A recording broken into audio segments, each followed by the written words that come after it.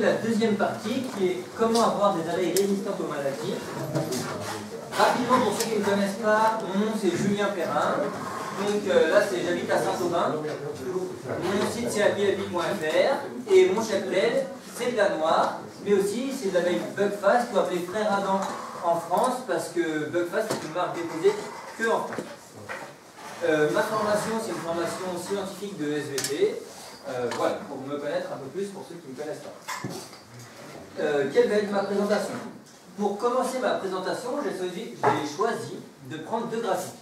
Un graphique qui est la vision des mortalités euh, pour les apiculteurs, pour les biculteurs, et aussi pour les laboratoires. pour les laboratoires. Ce qu'on voit, c'est que dans les causes de mortalité, ce qui est important, tant chez les laboratoires que chez les apiculteurs, ce sont les maladies. Et puis les problèmes généraux, mais les maladies ont une part très importante pour, euh, ben, pour tout le monde finalement. Dans les maladies, la première qu'on a, c'est le varroa. Euh, AFB, c'est les loques, et EFB, c'est American Food ou euh, European Food. Donc pour les deux, c'est le varroa, les loques, mais aussi une autre maladie, la nosémose. Du coup, si en apiculture on va avoir peu de pertes, c'est essentiel d'avoir des colonies qui sont résistantes aux maladies. Mais euh, donc le problème de ma conférence, ça va être finalement comment et pourquoi avoir des colonies résistantes aux maladies. Mais la question qu'on se pose, c'est qu'est-ce que ça veut dire avoir des colonies résistantes? Pour ça, j'ai défini plusieurs niveaux. Le premier, le premier niveau, c'est simplement des colonies qui survivent sans traitement. Mais ça, ça ne nous permet pas de maintenir une filière. Il faut aussi avoir des, pour, que l'apiculture puisse perdurer et tout en faisant des produits de qualité, avoir des colonies qui survivent sans traitement, mais aussi qui produisent autant que des colonies euh, qui, sont traitées. Voilà. La logique de ma présentation, ça sera de commencer des problèmes qui sont microscopiques pour finir aux problèmes macroscopiques avec les prédateurs en fait. J'ai inclus ça dans mon terme de maladie. C'est un choix que j'ai fait. une grande limite de mon exposé, Pascal en a déjà parlé, je ne vais pas revenir dessus du coup, c'est tout ce qu'on peut mettre en place, euh, euh, c'est important, mais il faut quand même, malgré ça, avoir un environnement de qualité. Euh, ici, c'était un environnement, c'était l'article que citait Pascal, où il n'y a pas de pesticides, parce qu'on voit que quand on augmente la dose de pesticides, on a ici, c'est des virus, plus de virus, par exemple. Donc déjà, l'environnement a un impact fort. Et ici, c'est quand on a une grande diversité de pollen, les abeilles vivent plus longtemps, par rapport au fait de ne pas avoir pollen, ou quand on a des pollens de mauvaise qualité, comme c'est ce que racontait Pascal euh, précédemment. Donc, je n'oublie pas l'environnement, simplement je n'ai pas le temps d'en traiter. Euh, la première partie de mon exposé, ça va être comment avoir des colonies résistantes aux micro-organismes. Qu'est-ce qu'un micro-organisme? C'est simplement quelque chose qu'on ne peut pas voir à l'œil nu. Il y a plusieurs types de micro-organismes, comme les bactéries et les champignons. Dans nos problèmes, où se trouvent les micro-organismes Il se trouve que les micro-organismes, c'est euh, les problèmes qui vont être un peu plus secondaires, avec la loque et la nosémose. Donc, ils sont, la loque, c'est des bactéries, la nosémose, c'est un champignon. Qu'est-ce que c'est exactement que la loque Les symptômes de la loque, vous devez les connaître, tout apiculteur doit les connaître. C'est des colonies qui sentent la colle de poisson, qui ont un couvain dépareillé, on parle de couvain mosaïque, qui ont des larves filantes. Les filances longues, c'est américaines, les filances courtes, c'est les loques européennes. Et aussi, on peut trouver du couvain en écaille. Est-ce que la loque est une maladie ancienne ou nouvelle? En fait, quand on regarde dans les écrits, on voit Aristote, déjà très tôt, parle d'une lassitude des abeilles et d'une mauvaise odeur de la ruche, on pense qu'il parle des loques. Ensuite, les loques vont être décrites euh, par un naturaliste anglo-saxon euh, en 1800 en gros. Et ensuite, en 1885, on va, euh, on va a été trouvé en fait la loque européenne. Et en fait, en 1906, a été découvert la américaine aux États-Unis, à New York, c'est pour ça qu'elle porte ce nom. Mais on la retrouve aussi en Europe en fait. Simplement, elle a été découverte aux États-Unis, du coup, on lui a donné ce nom. Mais elle existe en Europe. Alors, la loque, concrètement, qu'est-ce que c'est? On a, euh, on va commencer au A, des, nourrices qui sont euh, infectées, qui vont contaminer des larves. Les larves se développent, et pendant qu'elles se développent, les petits points, c'est les, loques, elles vont rentrer dans le tube, en cas du tube digestif, elles vont rentrer dans le corps de l'individu et l'infester, ce qui va conduire à la mort de l'individu qui va se dessécher pour former une écaille. Les ouvrières qui vont nettoyer ça vont être contaminées par la loque et, le, contaminer d'autres cellules de couvain. On a du coup une contamination par les ouvrières ici, qui ne souffrent d'aucun symptôme, et aussi par les parois.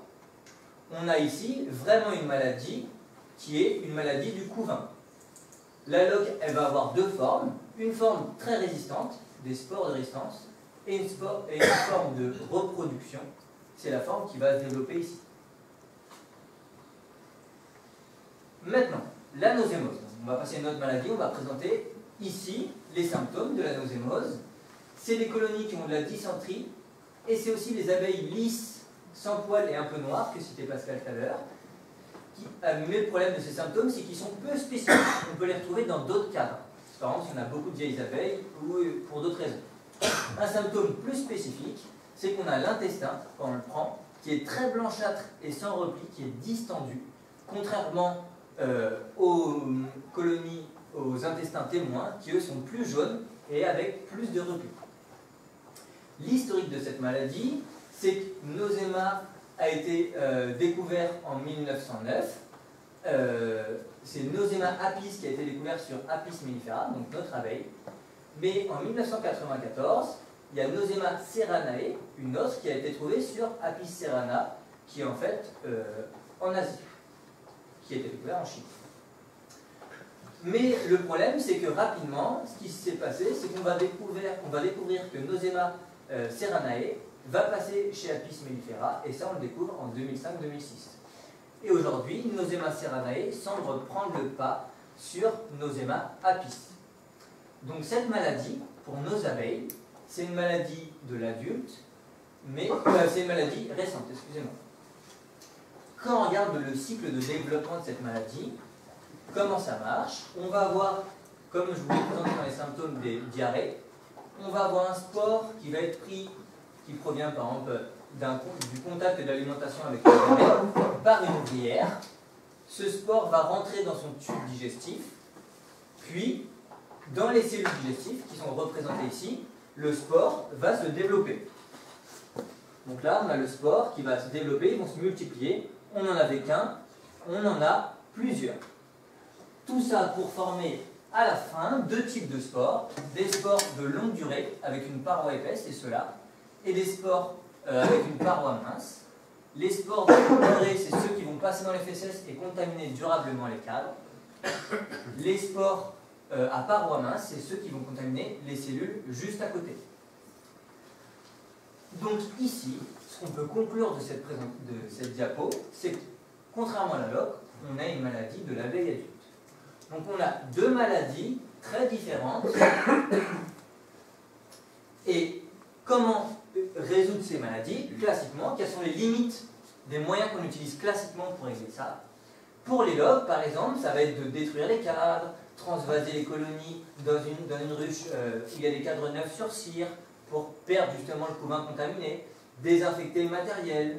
Le problème de tout ça, c'est que ça nous prend du temps dans les exploitations et ça nous prend du coup, euh, surtout que le temps en France, c'est très rare durant la saison, vu qu'on a une saison qui est extrêmement courte. Donc ça peut être compliqué dans des grandes exploitations ou dans des petites exploitations avec des plus réactifs, comme on a beaucoup en France. Quelle est, une autre euh, limite des, méthodes, des méthodes de, pour gérer ça, classiques, c'est les efficacités variables. Pour ça, j'ai pris ce document et j'ai pris l'exemple de la nosémose. Sur ce graphique, on a le temps ici, après inoculation, inoculation de la nosémose, et ici, on a le nombre de spores. Ce qu'on observe, c'est quand euh, on ne traite pas, on a cette courbe. Là, pour Nosema, alors en bleu, c'est Nosema serranae, et en orange, c'est Nosema apis. Quand, euh, pour le bleu, on baisse la dose, donc on va passer des traits épais aux traits encore plus fins, on va avoir moins de spores, mais par contre, à un moment, quand on va baisser encore la dose, on va avoir plus de spores. Ce comportement est un peu bizarre. On voit qu'en fait l'efficacité de la chimie n'est pas constante. Si on baisse un peu le niveau de la, chimie qu'on met, on peut avoir plus finalement euh, de nos hémoses que si on n'aurait pas traité. Comment ça se fait? Dans la publication qui parle de ça, en fait, c'est que les cellules intestinales sont un peu désorganisées et du coup, ça facilite euh, le, développement de, nos de la nosémose. Donc, le problème de tout ça, on peut voir que finalement, la chimie, elle peut être variable suivant les espèces du parasite, suivant l'espèce du parasite, variable suivant le dosage, et surtout le problème, c'est que même si on met un bon dosage, la molécule va se dégrader et donc on va forcément passer par un stade où il y aura moins de molécules. Et donc on va faciliter l'implantation de la maladie. En plus, ces molécules, généralement, elles sont actives sur le sport à paroi mince, sur le développement de tout ça, mais elles ne sont pas actives sur les spores à paroi épaisse. Et du coup, on ne va pas agir sur les formes de résistance. Donc là, on a vraiment des limites de l'efficacité de la chimie. Ensuite, la grosse limite, c'est la limite éthique. Et là, j'ai pris l'exemple des loques. Quand on regarde les études des miels, une étude des miels qui a été faite par des Belges, on voit que dans différents pays, on voit des antibiotiques dans le miel. Et c'est écœurant de voir ça quand on voit les miels du commerce sur, par exemple, la tétracycline qui permet de lutter contre les loques. Sur en gros 100 miels, il y en a quand même 29 qui contiennent des antibiotiques. Par contre, quand ils ont regardé chez les petits apiculteurs, il y en avait beaucoup moins. On est à peu près au même niveau, 90 à la place de 100, et on en a 0. Donc d'où l'importance de prendre du miel quand on connaît l'apiculteur, parce que ce qu'on trouve dans le commerce, ben, ça fait extrêmement peur. En plus, le problème de tous ces antibiotiques. Là, je choisis de prendre une étude qui a été faite aux États-Unis, euh, qui est publiée en 2003. Dans différents États, ils ont regardé euh, si les colonies résisté, si nos hémoses, euh, si, les loques résistaient ou pas aux antibiotiques. On voit apparaître à New York, dans le Dakota, en Alberta et dans d'autres États, des, résistances qui apparaissent, des loques qui ne sont pas éliminés que l'on traite. Donc, le problème, c'est qu'on abîme la qualité de notre miel et en plus on développe des résistances. C'est dangereux pour l'apiculture, mais c'est pas là où c'est vraiment dangereux. Le problème de ces antibiotiques, c'est qu'ils sont aussi utilisés pour les humains. Là, le document que je vous montre, en abscisse on a le temps, en ordonnée on a le nombre de euh, multirésistantes euh, drogues, donc en fait c'est des pathogènes qui sont capables de résister aux antibiotiques, et on voit qu'on a de plus en plus de pathogènes qui sont capables de résister aux antibiotiques quand on veut soigner des gens. Il y a des gens qu'on n'arrive pas à soigner parce qu'ils ont chopé la bactérie résistante. Du coup, nous, utiliser des antibiotiques, si jamais on le ferait, ça voudrait dire favoriser ça parce qu'on sélectionne euh, positivement les bactéries qui sont résistantes aux antibiotiques.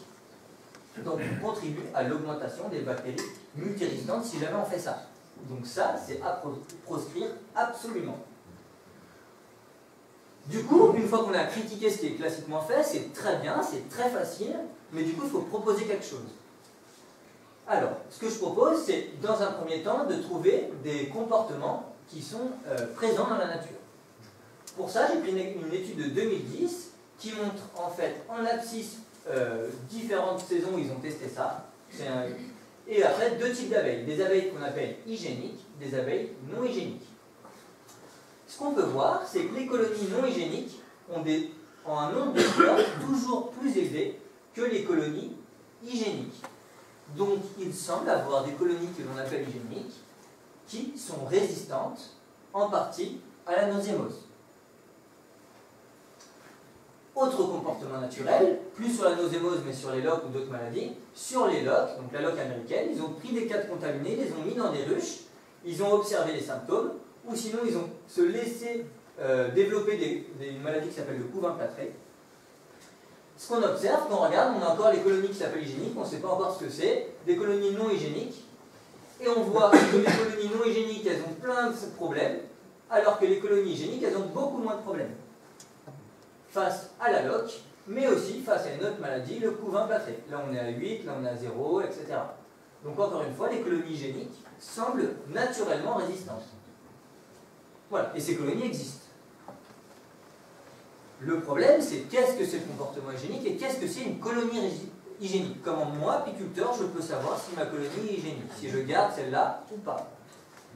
Pour déterminer une colonie hygiénique, la méthode classique, c'est de découper un morceau de couvain d'environ 100 cellules, de tuer le couvain en le mettant en congélateur, de le remettre, donc là on a tué du couvain sans blesser les opercules, et de regarder si c'est nettoyé. Là c'est un test de cette on voit que cette colonie, en 24 heures, elle a tout nettoyé. Donc c'est une colonie hautement hygiénique. Pour analyser ça, là c'est facile, c'est en, en 24 heures. Ok. Là c'est en 24 heures, c'est facile. Le problème, c'est que des fois, euh, c'est pas à 100%, donc il faut compter. Pour ça, on peut utiliser des petits logiciels pour compter. Le problème de cette méthode classique, c'est qu'il faut ouvrir trois fois les ruches pour prélever le couvain, le remettre et reprendre la photo. Mais par contre, l'avantage, c'est qu'il n'y a pas de détérioration de l'opercule. L'opercule, est laissé intact. Il y a d'autres méthodes qui existent. La méthode euh, des, aiguilles, où on va percer le couvain pour tuer le couvain la méthode du chalumeau, où on va brûler le couvain pour tuer, et la méthode qui a, été euh, pour la première fois utilisée par quelqu'un qui est dans la salle, qui est là, qui m'a donné cette idée, donc du coup j'ai testé, qui est de congeler le couvain avec des bombes de froid, pour nettoyer les PC. Pas trop celle pour la pharmacie, parce qu'il y a souvent du menthol dedans. Le problème, de, surtout les, les picots, euh, c'est que quand on regarde sur ce document, alors mon laser marche plus, je suis désolé. Euh, on voit que quand on congèle le couvain, le freeze, euh, le couvain qui est frise, ou quand on pointe avec des épingles le couvain, les pins, eh bien, on a le nettoyage qui n'est pas aussi rapide. Suivant la méthode utilisée, la vitesse de nettoyage va être différente. Donc du coup, suivant la technique qu'on va utiliser, il peut y avoir des biais. Non, c'est laser. Alors, Le problème de cette technique, euh, l'avantage de cette technique, excusez-moi, c'est qu'il n'y a que deux ouvertures de ruche. C'est qu'il y a. L'avantage de cette technique, c'est qu'il n'y a que deux ouvertures de ruche, donc on gagne une ouverture, ça c'est intéressant. Par contre, dans la pratique, on a des résultats qui sont variables, suivant qu'on utilise le couvain congelé ou des aiguilles. Et on a aussi, pour les bons, pour en avoir testé pas mal, Parfois, on n'est pas encore très bien calé, on a les résultats qui sont un peu variables quand on les recommence plusieurs fois. Donc cette technique, elle est très intéressante, mais elle a encore à, développer. Ensuite, on avait vu qu'il y avait des colonies hygiéniques. L'idée, c'est de se caractère à ce qu'on peut faire de la sélection.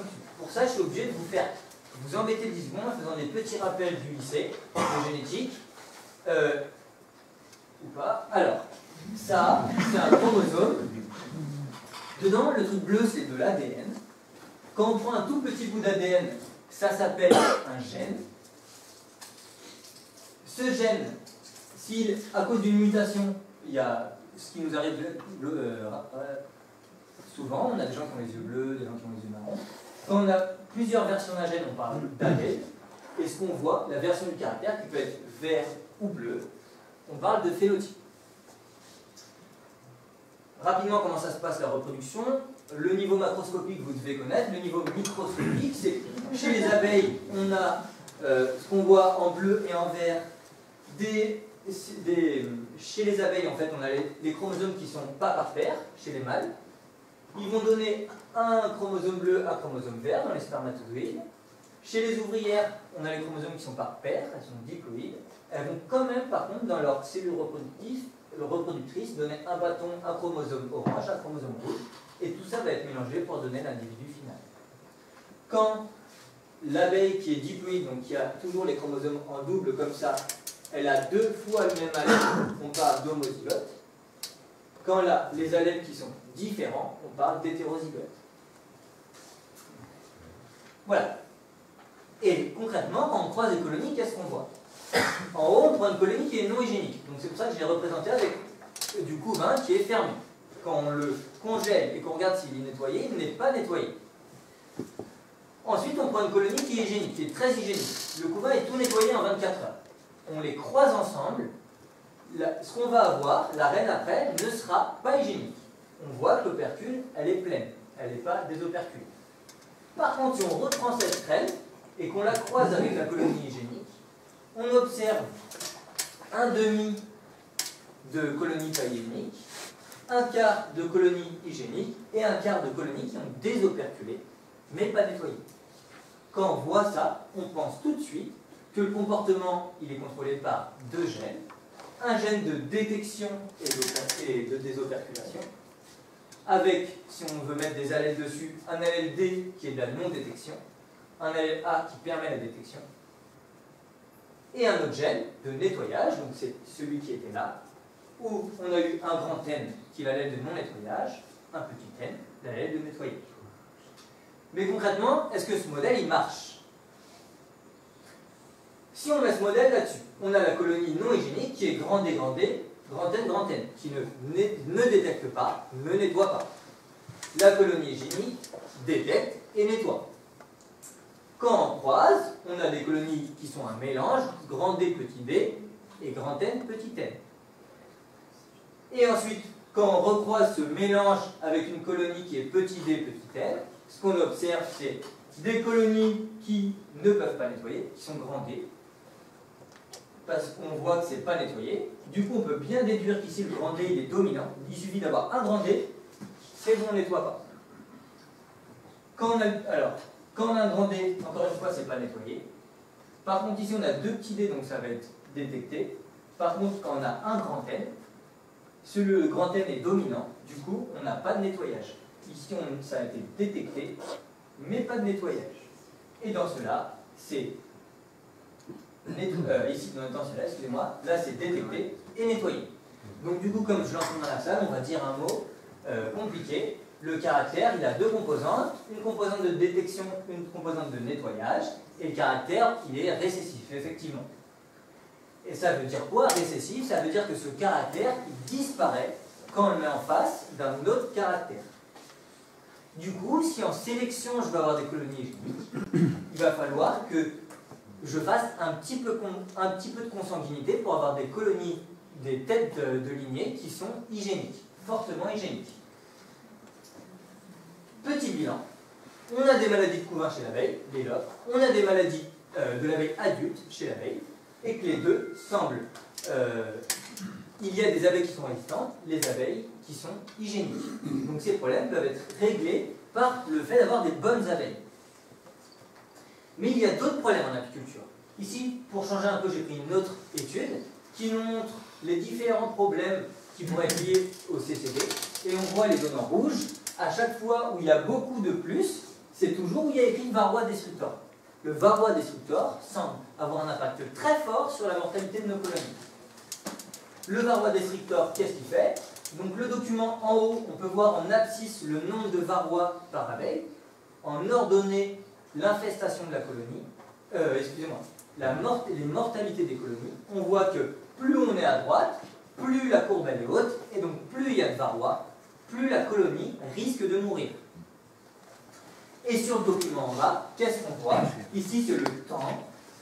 Ici, c'est la quantité de virus.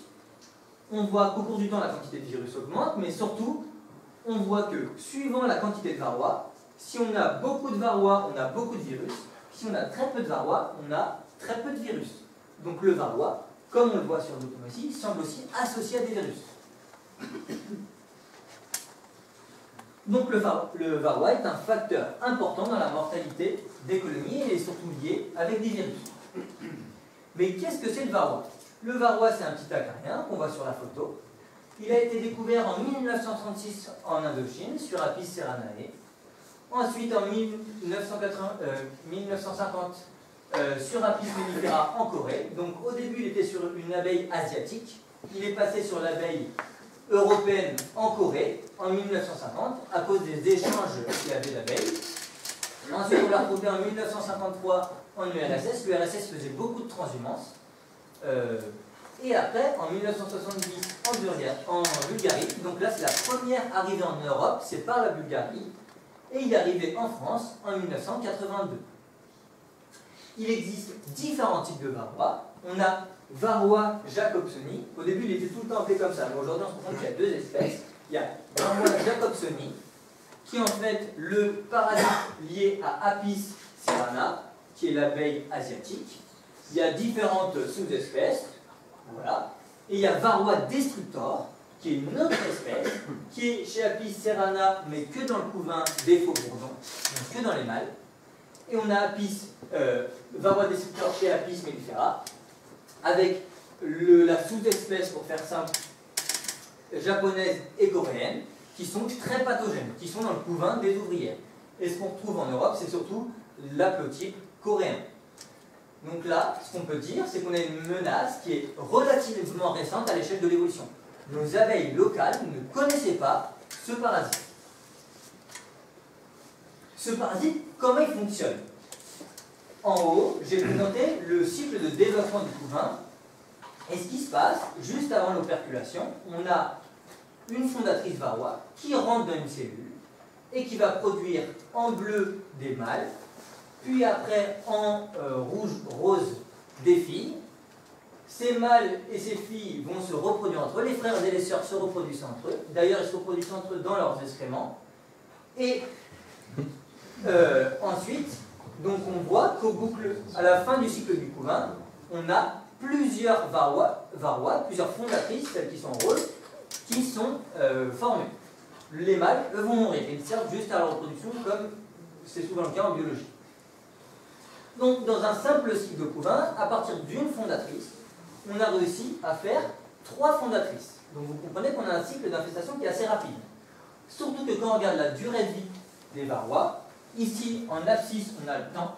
Ici, on a le pourcentage de la population. Au début, on a 100% d'une population de varrois qu'on met. Et on voit qu'au cours du temps, ça diminue.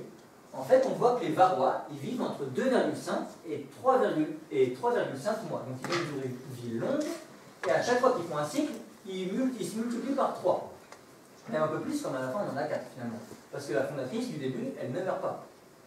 Donc quand on fait des modèles d'infestation des colonies, au début, on a la courbe d'en bas, on part avec 1 varrois, la courbe au-dessus avec 10 varrois, la courbe au-dessus avec 100 varrois. On voit pour une différence qui ne nous semble pas si importante que ça, d'un facteur que de 10, on peut avoir des infestations qui vont monter très très vite dans les colonies. Donc c'est un parasite qui a un cycle de développement assez important. Comment on peut faire pour s'en protéger? Pour ça, tout de suite, la réponse à court terme, c'est les produits chimiques. Les produits chimiques, il y, en a plein que vous connaissez. Alors moi, je vais parler plutôt des molécules que des marques, parce que voilà. On a le thymol, le fuvalinate, la mitraz, on a l'acide formique, l'acide lactique, l'acide oxalique, et tous, en gros, ils ont une efficacité assez forte. Donc à court terme, les apiculteurs les ont utilisés. Le problème, c'est que ce n'est pas si simple. Ces molécules, elles ont aussi des contraintes, des limites. Elles vont avoir des effets sur les abeilles. Par exemple, euh, le thymol va, avoir va créer des problèmes d'hivernage, on va avoir de la désertion. Voilà. Et en plus, ces produits, comme euh, le fluvalinate, la mitraz ou d'autres, le coumafos, mais lui il est, quasiment, il est quasiment plus utilisé, on le retrouve dans les cires, et euh, dans le miel, s'il est utilisé quand il y a du miel, donc ça par contre les apiculteurs ne traitent jamais quand il y a du miel, mais ils traitent en fin de saison. Mais par contre, ils s'accumulent dans les cires. Euh, voilà, et ils peuvent, on voit qu'il est mortel pour les abeilles à ce seuil-là, par exemple, et on voit qu'il est quand même assez élevé dans les cires, il n'est pas encore au seuil de mortalité, mais il s'accumule dans les cires vu qu'ils sont liposolubles. Donc on utilise des produits qui sont délétères pour l'abeille et qui s'accumulent dans les cires. Le truc, c'est qu'aussi, il y a des résidus pour le consommateur. Pour les premiers et les derniers, ce qui est en orange, ça va modifier le goût du miel. Donc notre produit va perdre en qualité. Mais aussi, pour ceux qui sont en rouge, ça a un effet directement sur euh, la toxicité du miel, de la cire, etc. Donc ça, il y a des problèmes de résidus. Ensuite, il peut y avoir des problèmes pour l'opérateur. Ce pas des molécules qui sont, euh, qui sont sans danger. Euh, par exemple, il y a la mitraz, c'est cancérigène, et surtout les, molécules qui, une fois qu'elle est un peu dégradée. Donc il y a des risques pour l'opérateur. Et en plus, il y a des résistances qui développent. On entend tout le temps dire la mitraz, il n'y a pas de résistance, pas de problème. Et bien regardez un dernier article de 2000, dans le Minnesota, on trouve des euh, colonies qui sont des varrois qui sont résistantes à la que quand on traite, il n'y a que simplement 30, il y a simplement 32% des varrois qui sont tués. Donc tous les autres, ils survivent. Donc on a des résistances qui se développent face à ces molécules. Donc ce n'est pas une technique qui est durable. Et ensuite, je suis un auvergnat, c'est un coût, et ça prend du temps aussi de traiter, et donc du coup c'est une autre contrainte. Alors, du coup, comment faire maintenant qu'on a critiqué pour essayer d'améliorer tout ça? Il faut mettre en place une lutte au long terme contre Varroa. Et pour ça, on a des colonies qui ont été sélectionnées, donc en Europe, mais là j'ai fait une publication américaine, ou aussi aux États-Unis. On a des colonies en rouge non sélectionnées, des colonies en orange qui sont sélectionnées mais qui sont fécondées naturellement, et en vert, des colonies qui sont sélectionnées. En haut de cette colonne, on a comment change la population de varroa, par quel facteur change la population de varroa à chaque cycle. Et on voit que dans les non sélectionnés, elle augmente bien plus que dans les colonies sélectionnées. Donc il existe des colonies naturellement résistantes au varroa. Ce n'est pas une légende, ça existe. Et est-ce que le comportement hygiénique qu'on connaît, la première idée en recherche, ça a été est-ce que ce comportement hygiénique qui joue contre les, micro-organismes peuvent jouer aussi contre le varroa C'est ce que une excellente chercheuse Spivak a montré. On a en abscisse le temps, on a ordonné le pourcentage de couvain qui est nettoyé. On voit que les non hygiéniques nettoient très peu de varroa, les courbes ne sont pas très hautes, et les hygiéniques nettoient beaucoup plus de varroa. Donc les colonies hygiéniques semblent savoir mieux se défendre contre le varroa. Globalement, donc si on prend toutes les colonies hygiéniques, elles sont globalement mieux que les autres. Mais est-ce que c'est si simple? Là, c'est une étude qui est plus récente. On a différents types de colonies. Des colonies hygiéniques, des colonies qu'on appelle VSH. On voit, le, quand on regarde, quand on congèle le couvain et qu'on regarde ce qui est nettoyé au bout de 24 heures, que les colonies VSH sont des colonies hygiéniques, donc elles nettoient. Par contre, quand on compare les colonies qui s'appellent VSH aux colonies qui sont hygiéniques simplement par rapport à la charge de varroa, donc c'est la charge de varroa qui en ordonnée, les colonies hygiéniques ont plus de varroa que ces abeilles que l'on appelle VSH. Donc pour schématiser tout ça, on a un gros stock d'abeilles qui s'appelle hygiénique, et dans ce gros stock d'abeilles, on a un plus petit stock d'abeilles qui s'appelle VSH, qui sont hygiéniques, mais qui sont aussi capables de lutter contre le varroa.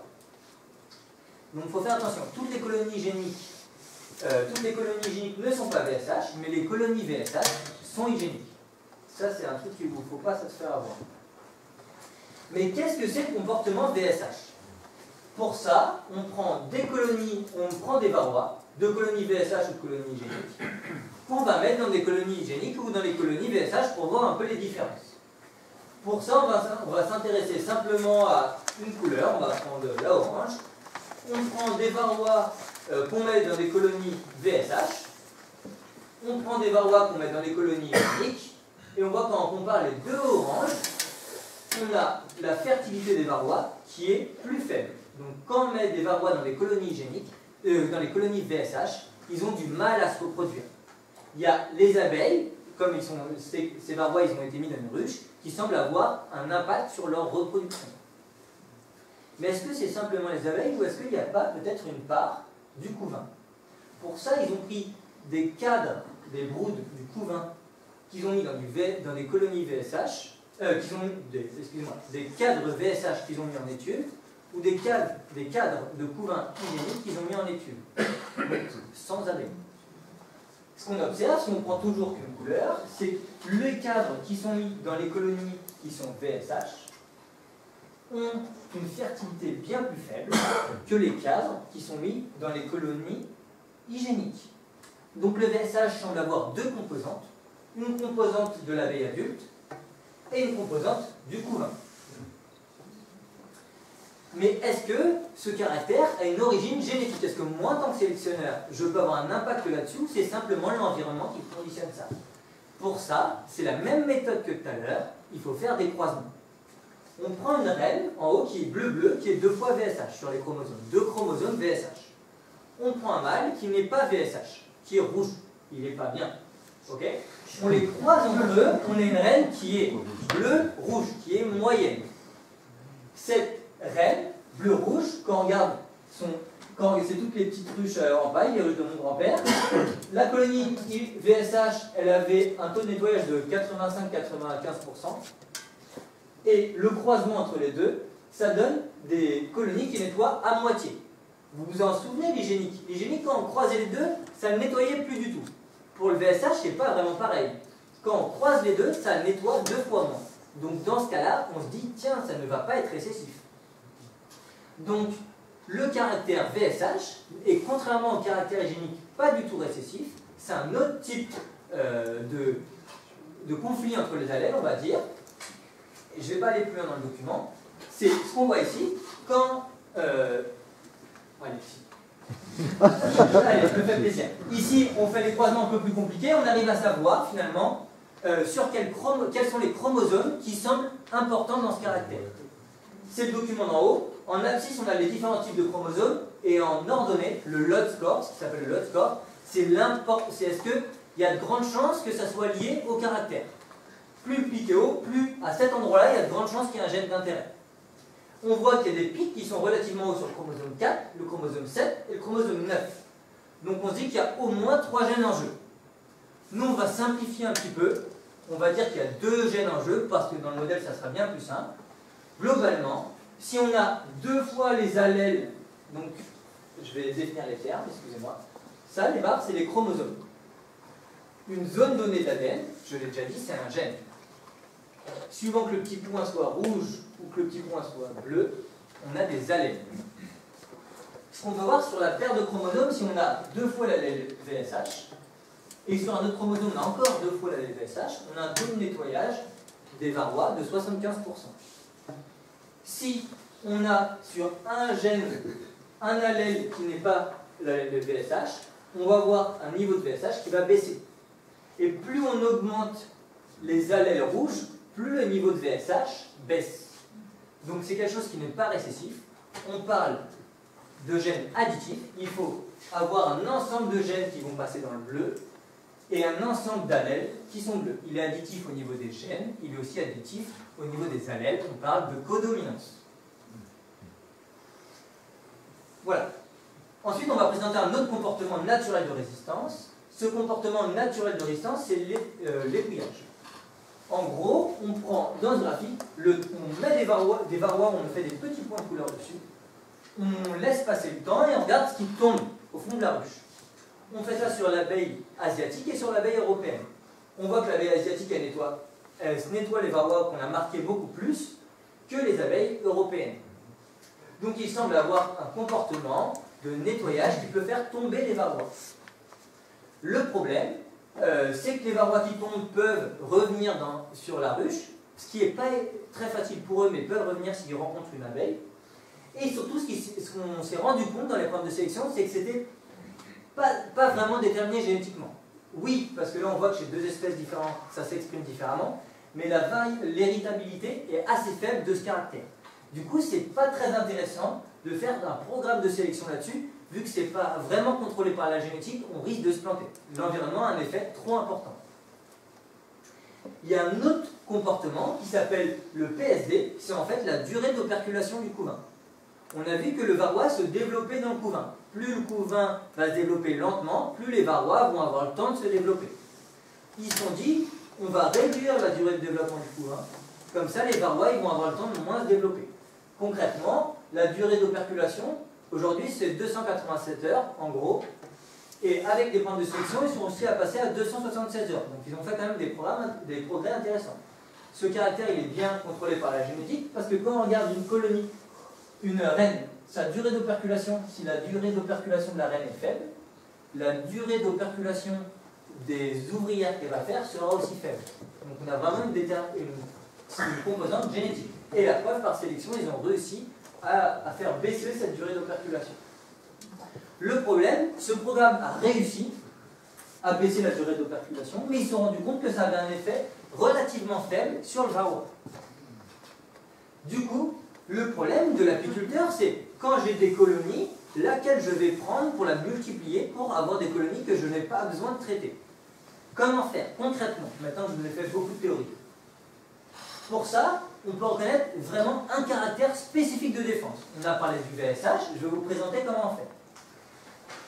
En fait, le couvain se développe, plus il développe, plus les yeux sont foncés, et au bout du 17e jour, ou du 9e jour d'operculation, où j'ai mis les petits pointillés, on a les nouvelles fondatrices, les rouges, qui sont déjà nées. Donc si je regarde là, si j'ai pas de fondatrice, c'est bien. Si j'ai des fondatrices, c'est pas bien. Ce test, ça s'appelle le test VSH. C'est ça des colonies VSH. C'est des colonies qui n'ont pas de fondatrice. quand on regarde le couvain à 17 jours. Et pour ça, pour calculer le taux de VSH, comment on fait? On regarde le nombre de fondatrices qui n'ont pas eu de descendants, donc le nombre de marrons qui n'ont pas fait d'enfants, par rapport au nombre de marrons total qu'on a observé. Ça, ça nous donne un niveau de VSH. Le problème, dans nos colonies, on a eu gros problème avec le groupe, c'est qu'on avait des colonies qui n'avaient tellement pas de varroa qu'on ne trouvait pas de, de fondatrices marron. On faisait des cellules, des cellules, des cellules, on ne trouvait pas de marron. Donc maintenant, ce qu'il faut faire, ce qu'on se rend compte, c'est qu'il faut infester nos colonies. On est obligé de trouver des colonies des têtes à coups, de prendre des cas tout infestés, les mettre dans nos colonies, pour réussir à trouver ces varroas fondatrices, pour arriver à sélectionner. Et donc, on ne savait pas si ça marchait, si c'était viable. Il y a une publication là-dessus qui vient de sortir. Quand on met des cadres infestés, on se rend compte qu'au bout d'une semaine d'exposition, on a bien, suivant qu'on soit des VSH ou des colonies non VSH, une fertilité des varrois qui va bien être différente.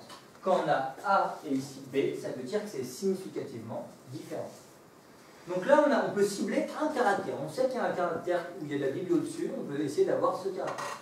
Mais sinon, on peut un peu moins se prendre la tête. On peut dire, je veux simplement des colonies qui n'ont pas de varroa. Et du coup, comment on fait? On peut faire un test qui s'appelle le test phorétique. La phase où les varrois sont sur les abeilles adultes, on appelle ça la phase, de phorésie. On parle de varroa phorétique, du coup. Et pour ça, comment on fait? On prend 300 abeilles qu'on met dans son toit de ruche, pas besoin de matière compliquée. On les nettoie dans son, la grille de son maturateur, bien fort, pour que les varrois tombent dans l'établi. Là, c'était une tête à bout, on a plein plein de varrois qui sont tombés quand j'ai pris 300 abeilles. Ça, c'est la colonie qui donne les cadres. Donc celle-là, elle est très infestée. On peut calculer un niveau d'infestation, le nombre de varrois, par rapport au nombre d'abeilles que j'ai ramassées. Ensuite, si on veut savoir les colonies qui sont résistantes, suivant leur histoire, si elle a commencé avec plus de varrois que sa copine, si on mesure, ça va peut-être être un peu compliqué. Donc pour ça, on peut essayer de voir un taux de croissance. Pour ça, on utilise une équation. R, ça va être le taux de croissance. Comme on a vu que la croissance du varroa, c'est un truc qui est exponentiel, qui monte comme ça, c'est pas une droite. On utilise un ln, c'est un logarithme. On prend i, c'est le test de varroa phorétique sur le sol. C'est ce, qui a, été fait en Europe avec les Allemands, avec un programme de résistance. On prend sur le sol le niveau 0. Ensuite, on prend mi-juillet le niveau final. On compte le nombre de varroa par abeille. Et à partir de ça, on arrive à avoir, et on divise, excusez-moi, le tout par le nombre de jours, suivant si j'ai pris deux jours avant que mon copain et tout, qu'on puisse discuter des mêmes choses. Et ensuite, on regarde le taux de croissance entre nos différentes colonies. Les colonies qui ont un taux de croissance du varroa très bas, on les garde. Les colonies qui ont un taux de, de croissance élevé, elles ne sont pas à garder. Le truc, petite, euh, petites astuces, euh, il faut comparer des colonies qui ont la même historique. Imaginons que dans une colonie, j'ai fait euh, trois divisions, pas la même, elle, aura moins de varroa qu'une colonie où j'ai pas fait de division. C'est plus intéressant. Alors finalement, contrairement à ce qu'on pensait, euh, c'est une communication personnelle là. On se rend compte que prendre les abeilles dans la hausse, c'est bien mieux que prendre les abeilles dans le corps, parce que simplement, quand on le refait, on arrive toujours à peu près à la même valeur. Alors que dans le corps, ok, il y a plus de varroa, mais quand on le fait plusieurs fois, on n'arrive pas vraiment aux mêmes valeurs. Donc c'est plus intéressant de prendre les abeilles dans la hausse, et entre nous c'est carrément mieux, on ne risque pas de prendre la reine. Et euh, surtout quand on le fait Et l'avantage de cette technique, contrairement aux chutes naturelles sur le plateau que vous connaissez, c'est qu'on s'affranchit de la taille de la colonie. Que j'ai une ruchette, que j'ai une ruche, comme on fait, on fait le nombre de varrois par le nombre d'abeilles, on est tranquille, on s'affranchit de cette contrainte. Donc c'est vraiment une technique qui est intéressante. Donc du coup on peut dire, euh, qu'il existe des colonies qui sont naturellement résistantes au varroa. Elles existent, elles existent. Ce n'est pas une légende. Euh, voilà. Aujourd'hui, malheureusement, on a des nouvelles contraintes en apiculture qui arrivent. Ici, on a le frelon euh, asiatique qui est, voilà, qui est présenté ici, qui chasse les abeilles devant la ruche. Voilà, Vespa velutina. Vespa velutina est arrivé en 2004 en Gironde et s'est développé dans toute la France. Et malheureusement, il est depuis l'année dernière Julien Josas. Il est chez nous.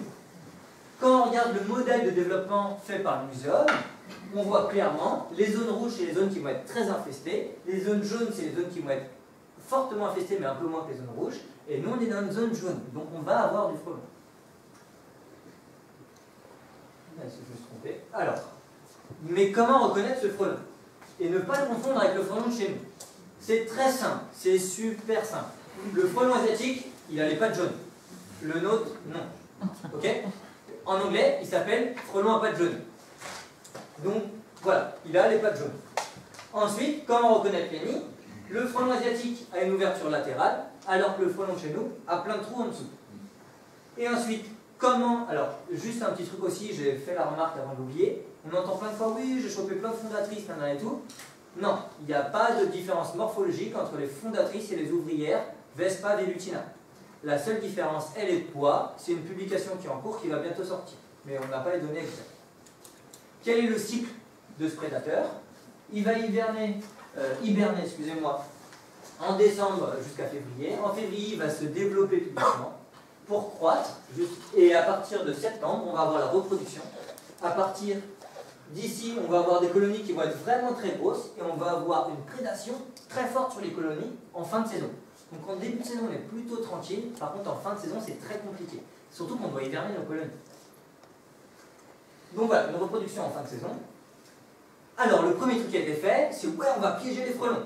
Ok, les gars, ils ont piégé les frelons. Donc ça, c'est les zones de piégeage. Ça, c'est les zones sans piège.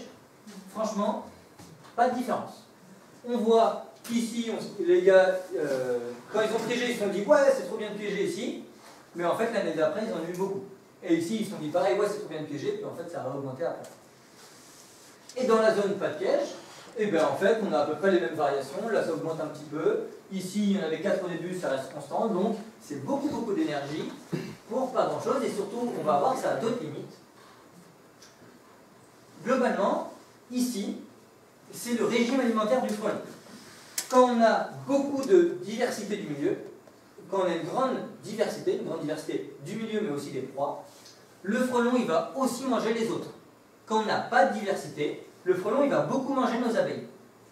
Le problème des pièges, c'est ce qu'on voit là-haut. On va prendre le, piège à bière, c'est qu'il piège soit plus de 11% de frelons et tout le reste c'est d'autres trucs. Donc tout ce que le frelon il aurait pu manger, ben non, on l'a piégé, on l'a tué. Et en plus, si on utilise de la bière qui est non sélective, on, piège beaucoup d'autres choses. Si on utilise du jus de cirier, donc c'est de l'eau et des cires d'opercule qui fermentent, on est un peu plus, euh, c'est un peu plus sélectif, mais vous avez vu, c'est pas non plus magique. Donc le problème de ces pièges, c'est qu'ils vont détruire la biodiversité du milieu, et du coup ils vont faire que les colons, ça va être plus intéressant pour eux de se concentrer sur les abeilles. Mais aussi il y a d'autres choses. Pour vouloir piéger en début de saison, c'est très mal connaître le cycle de développement du frelon. En hiver, la mortalité des frelons est entre 85 et 98. On ne va pas faire en pourcent, on va faire un truc simple. On prend au début 1000 reines. En gros, l'hiver, il en reste, après l'hiver, il en reste 150. Vous les avez écrasés dans votre grenier, sont morts de froid, plein de trucs. Ok? Ensuite, sur cela, au printemps, il en reste 0,2 dans le meilleur des cas pour nous, et au 12 sinon. Donc là, euh, qu'est-ce qui se passe à cette période-là Au printemps, c'est qu'en fait, il y a un truc très particulier chez les frelons, c'est une compétition extrême. Imaginons au début qu'on a quatre frelons. On a le premier qui dit Ouais, je vais faire tout de suite mon nid. Donc c'est celui-là. Il fait tout de suite son nid. Les autres, ils lui disent Ouais, fais ton nid. Ensuite, une fois qu'il a bien fait son nid, il le but, il prenne son nid. Voilà. Et après, une fois que lui, il a fait un peu plus le nid, l'autre, encore plus malin, le plus gros, il arrive, bah, il rebute et il prend son nid. Donc en fait, entre les frelons, il y a une compétition qui est extrêmement forte. Si moi, je tue celui-là et celui-là, ben, le premier va continuer son nid tranquille, il va pas avoir dépensé d'énergie à se battre, et donc du coup, c'est pas forcément productif. on pourrait dire comme ça que c'est intéressant, un frelon piégé, c'est un nid en moins, que dalle. Donc, piéger en préventif, ça, on, est, effrayé face à ça, on a besoin de faire quelque chose. Mais piéger en, en préventif, ça n'a pas d'intérêt. Il y a une petite, dans les questions pour en revenir, ça a un intérêt en zone non infestée, mais bon, donc c'est peu efficace. Mais alors du coup, il faut proposer des choses. C'est trop simple de dire qu'on ne peut pas piéger en préventif.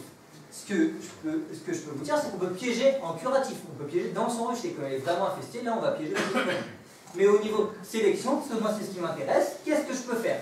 Est-ce qu'il faut que je garde les abeilles agressives? Parce que, ouais, les abeilles agressives, elles, vont bien éclater le frelon quand il va venir.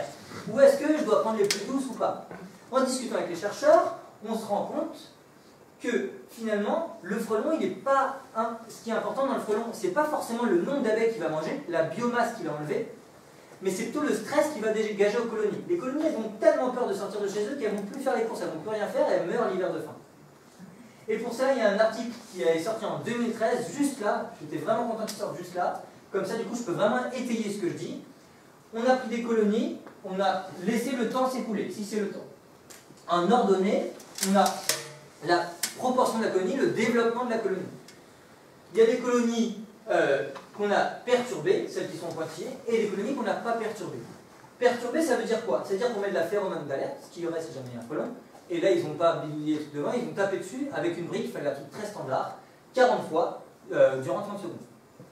Et on voit que les colonies qui sont perturbées, qui sont stressées, se développent beaucoup moins que les autres. Ok, mais moi ce qui m'intéresse en tant que sélectionneur, c'est est-ce que ça, c'est un effet de l'environnement ou est-ce qu'il y a une... Derrière, il y a de la génétique? Est-ce que derrière, je peux sélectionner des abeilles qui ne sont pas stressées? Eh bien oui, dans la même étude, il montre que entre les colonies qui sont... Euh, quand les colonies sont stressées, on a des gènes euh, qui s'activent et d'autres qui s'inactivent. Donc vraiment génétiquement, de taper avec la brique, ça va jouer sur l'expression de certains gènes.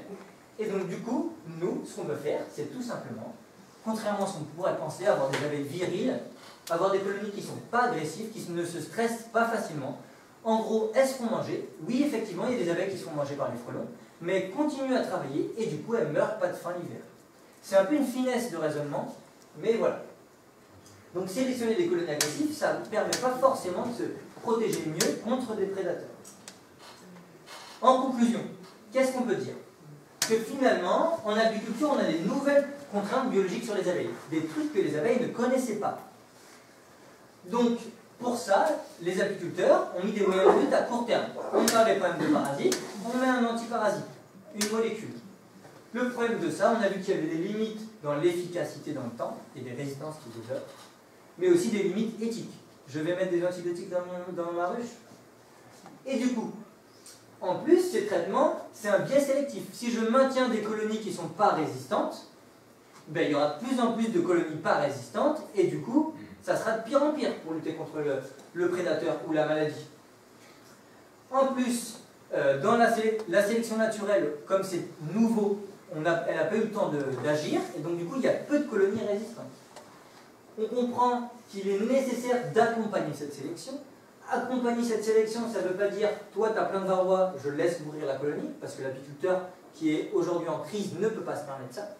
Il doit simplement, peut-être avec un moyen court terme, sauver cette colonie pour le moment, mais après changer la reine avec une reine résistante pour justement ne plus avoir besoin de mettre tous ces, traitements. Et comme la l'a montré tout à l'heure, il y a un gros problème à ça. Le gros problème à ça, c'est une perte de diversité. Et quand j'ai discuté avec le ministre qui s'occupait de ça, c'est ce qui m'a fait peur. Ils se disent, oui, on va faire une abeille résistante. Comment? Une abeille résistante? Genre, tous les apiculteurs vont avoir l'abeille résistante. Vous comprenez que si on fait ça, on a un gros problème de diversité. Ça sera très bien à court terme, mais demain, quand il y aura un nouveau caractère que l'abeille résistante, eh ben, elle ne connaît pas, tout va mourir d'un coup. Et là, ça serait une catastrophe. Du coup, il faut trouver un compromis à tout ça. Favoriser la diversité des sélectionneurs et des apiculteurs. Si tout le monde le fait un petit peu sur ses abeilles, euh, qu'il y a plein de petits sélectionneurs, là on arrive à maintenir la diversité tout en arrivant à une abeille qui est capable de se protéger contre cette contrainte. Et d'encourager les sélections maison. C'est pour ça qu'on fait cette concurrence, pour que chacun fasse un petit peu chez lui, qu'on ne perde pas de biodiversité, mais qu'on arrive à ne pas se comporter comme des bourrins. Merci.